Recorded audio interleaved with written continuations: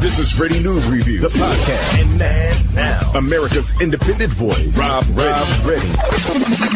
Giving you the pressing news that you need to know first on this program. A story we broke late last night has caused much attention to come to the website, and we appreciate all of those people who are finding the program and finding the show.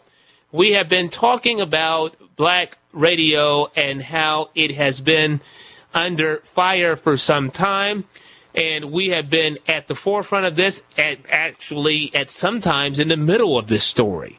Uh, of course, this show is continuing to broadcast despite uh, being under siege for telling truth about the White House and its campaign against the black press. And that is one of the things that I will never regret on this program. But we've seen other shows that have been put under attack too. We've seen the likes of Warren Ballentine, of course, go dark as a result of all of this. And also Michael Baisden go dark as well. We've seen other shows cut back, Open Line in New York, cut back and trend back with host and with hours as well. We've seen Al Sharpton, Long Hair Don't Care show, uh, cut back by an hour. We've seen shows completely eliminated. GW on the Hill, uh, gone uh, from many spaces and places. We've seen real change in the landscape of cable news. Roland Martin, no longer at CNN. Soledad O'Brien, trimmed at CNN. You have TJ Holmes, who was just told that his show would not be renewed at BET. These are all programs where we have lost significant voices. And whether you agree with those voices or not, we've lost significant voices in the black press. This is one of those few shows that is so independently focused and centered that we haven't been a big casualty like these other programs have experienced. We haven't seen the lights go out the way some of these others have. But there are now shows that are on their way back. That's right. There are shows is, sh- is showing some sign of life, but that's because of some real entrepreneurship that's being undertaken by some individuals. We'll get to that in a moment. But Warren Ballentine's show has returned to the air. Now, I know Warren, and we've had our issues. To be honest with you, Warren and I have had our issues. We've gone in and out of talking to each other. But Warren, I believe his voice is important. I don't always agree with his strategy. I don't always agree with where he's going, but I agree that he's an important voice. As I will have disagreements with everyone I've mentioned at some point in the press, whether it's Roland Martin, whether it's Soledad O'Brien, whether it's TJ Holmes, even whether it's Don Lemon, who's still on CNN. I still think that they're important figures. I might reserve the right to critique what they do and how they do it. I still think that they're important figures in what they do. The diversity of voices uh, is very important to our country. And Warren Ballentine, I was happy to report this, more than happy. I got a call yesterday from a mutual friend of ours David Anderson, and David Anderson told me, he said, Rob Warren is back on the air. And he took his phone and he told me he was going to do it. He took his phone and put it up next to the speaker, and I said, My gosh, that is Warren Ballentine. Warren Ballentine came back on the air on Monday, I'm happy to report. I listened to part of his show today, and we filed this report late yesterday on blacktalkers.com. Remember, that's the arm that covers the black talk media industry that we also own and control. It's called blacktalkers.com, which has been seeing a uptick in traffic because of this exclusive that we filed first. Black Talkers has learned that Warren Ballentine has returned to the air on WAGF AM in Dothan, WJBE AM in Knoxville, WOWE AM in Flint, WJMG AM in Hattiesburg, WPUL AM in Daytona Beach. His show can be heard at his normal time slot from 10 a.m. to 1 p.m. Eastern via the Empowerment Radio Network. You can listen to him on TuneIn by searching for the Empowerment Radio Network. Stations interested in running his show can send emails and place phone calls to the Empowerment Radio Network, which is carrying his show. And so he's on his way back as a result of all this, and he is being well received. I, let me put it this way I put this on Facebook and Twitter to more than 4,000 people on Facebook and Twitter last night. And when I had literally looked at it before I went to bed, when I looked at this before I went to bed, it had 60 likes of him being back in the saddle. And that's great. I'm glad he still has a very sizable fan base out there that will be looking for a show. And you won't have to look too hard. He's going he's on quite a few stations and I know that David Anderson is working fairly hard at trying to get him on as many stations as possible. At this hour, just right now, I can tell you that I've spoken directly to the network and they are doing what they can to put him on as many stations as possible. But it's not the only station that list that we see right now that he has. Of course, there are other stations that this network is working very diligently to procure. And I want to talk about that. This is Redding News Review. I'm Rob Redding, America's independent voice, giving you a spot of good news. I'm glad to give you some good news these days. And I'm giving you so, so, so much bad news in the last few hours and the last few days. I think it's important also to give you some good news. This is Redding News Review. I'm Rob Redding, America's independent voice, giving you the pressing news that you need to know first on this program at 855 Rob 3080. 855-762-3080 to get into the radio program. 855-762-3080 to get into the radio show. If you want to advertise on this show, send an email over to sales at reddingnewsreview.com. That's sales at reddingnewsreview.com. Someone will get back with you. Send an email to sales at reddingnewsreview.com. If you want to book me for your event, it's booking at reddingnewsreview.com. That's booking at reddingnewsreview.com. Booking at reddingnewsreview.com. This is Redding News Review, the show. I am Rob Redding, America's independent voice. Back with more in moments. 3080. I told you Warren Ballentine is back. He's back on numerous stations, and they're adding more every single day. Who are they? The Empowerment Radio Network. That's right, the Empowerment Radio Network, a brand new network started by David Anderson. David, we've had you on the program before. You're a longtime friend. Tell me how you brought Warren Ballentine back to radio. Um, well, it's really not me. It was kind of like my mom, you know, and her badgering. Wait a minute. But, your uh, mom, Miss David, David, David. You're saying your mom, Miss Warren? Well, no. Like my mom has really uh, been a real major influence with this whole network. Um, when Miss Bev went off the radio, my mother used to listen to her on WWRL in New York, and so she called me, and she just said, she said, Smith's off the radio. You need to do something about it. Bye. Don't call me till you figured it out. You know, and then um, we got another call to the house from uh, Radio One during the inaugural, and they wanted me to come up to fill in for Warren um, because he was with the president or whatever. So I was like, all right, cool. I called my mom and was like, yo, you want to go to the inaugural? So we all, the whole family went up to D.C. And when we were in DC, all this craziness was going on. So I was like, well, you know, Warren on the break because he was down, with the president. So on the break, I was like, hey man, this situation don't seem too kosher. If it falls through, let me know because you know we building this network and we got Bev and trying to do some other things. And so we were driving back down from the um, D.C. By the time I got to Virginia, my phone started ringing. It was Warren. He said, "Hey man, was you serious about that offer?" I was like, "I was dead serious." And so here we are.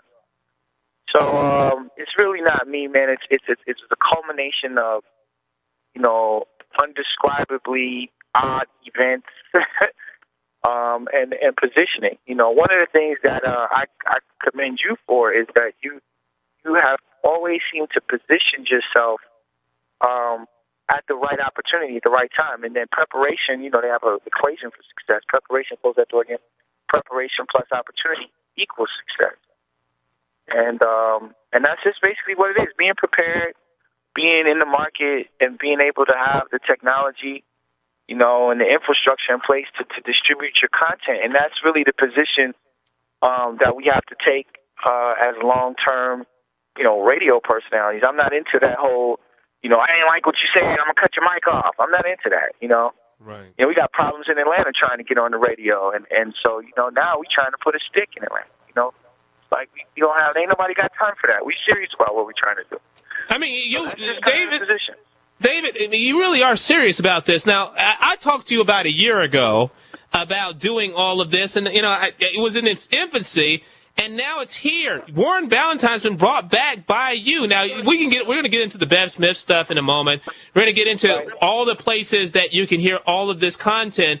But what's interesting is you, you know, a lot of people talk, but you actually put the work in.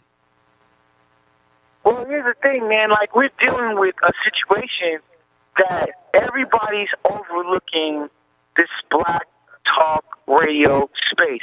No, I just did a deal with TuneIn earlier today, and we talked to the owner of the the the, the founder of TuneIn, and the founder of TuneIn told me this. This is what he said verbatim.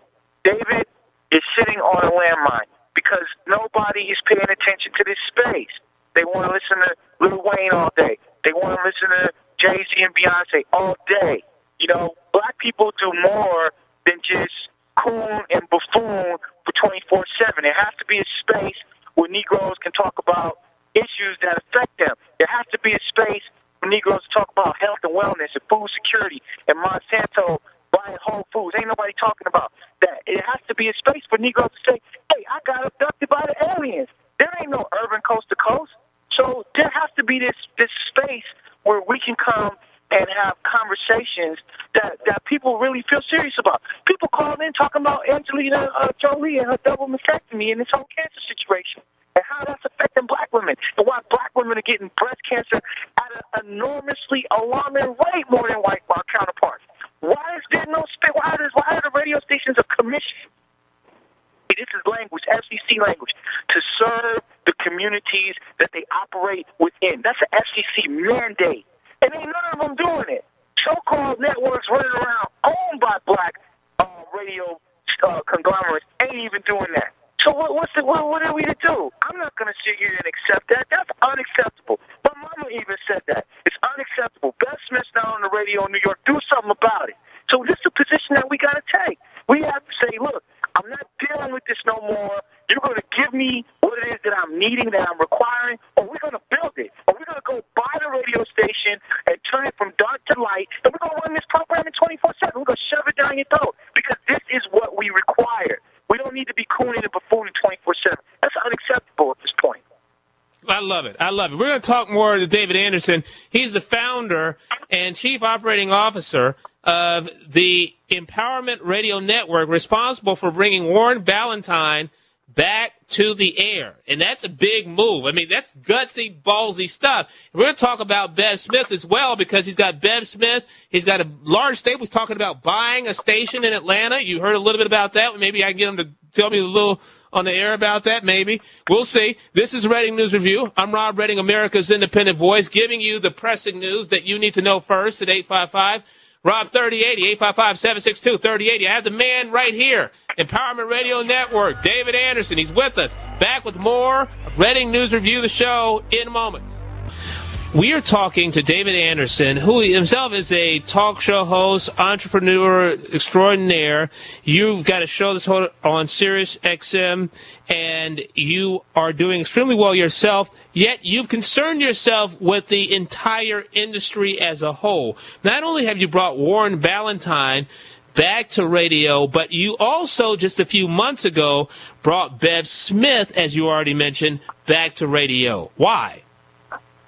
Well, one show is important um, because he, he, he gives a voice to, to, first of all, he's an attorney, so he understands the law, and then, you know, he's able to, to give a voice to people who don't have a voice. Bev Smith is a national treasure. And um, you know, she has so much experience. She and and she's an advocate first. You know, sometimes when people do radio, they they just like a personality, and that's it. You know, this woman has, has dedicated her life to the um to, to the empowerment of all people. She's a human rights activist. She's a she's a she's a black activist. I mean, she's a women's empowerment fanatic. I mean, why wouldn't we have her on the network? It's just a values match is there, and she she brings so much to the table. I mean, you know, it's Bev Smith. You know, so you know, and then my mom called me. She ducked me out. She's like, "Look, I can't listen to Bev Smith in New York City. You got to figure it out. Don't call me back you figure it out." Bye. So you know, I had the uh, I had a John Q pulled on me, and um, you know, we, we had to make it happen. I'm just happy that she she accepted the um, you know, the challenge because this is rough, man. Yeah, it Stuff is that rough. we're doing is, is, is, is, you know, it's not like, you know, if we were doing 24 hours worth of hip hop, we would have advertisements thrown at us, but we're not, you know, so we got challenges with radio, we got challenges getting on the radio, we got challenges with advertisers, you know, challenges with other, you know, station broadcasters, there's challenges all the way around. This is a challenge. But, you know, we work through it every day. Every day we get up, God gives us an opportunity to work through these challenges. And as entrepreneurs, you know, we're problem solvers. You know, we solve people's problems. And I just felt like, you know, this is something that means a lot to me. My grandfather owned a radio station when I was a kid. You know, I feel like I'm honoring his legacy right now, you know, building this network out and, and offering an opportunity to the community and, and people who are interested in, in this agenda. I'm glad you said that about your grandfather. We're going to come back to that in just a second, but I got two tough questions for you. You know, you know, I'm known for the tough questions, David. All right, man, so, come on. So, so, so here we go. Here's here's question number one. One of the reasons why Bev Smith was no longer on the radio is because her network decided that she was. This is the story that they gave. Too old. All right, and her listeners were part of that dying or dead. Yeah, part of that is correct. And so, um, you know, a, a lot, a lot of what happens is, is, is communication. All right. Well, fir- well, first, let me say this. On October 21st, uh, 2011, a notice went out to affiliates saying that Bev Smith will no longer uh, be airing. The reasons behind that were were uh, were a number of reasons which stem from communication. You know, if if if uh, I- you know, it, it, it's a little bit more deeper than what I what I'm privy to. But from the information that I got, you know, uh, Mr. Lopez, as we call him, or Jerry Lopes, I guess he felt like you know, Miss Bev is old, and and who's really listening to her? Whereas we feel like, well, wait a minute, a lot of the affiliates that we're picking up are gospel stations.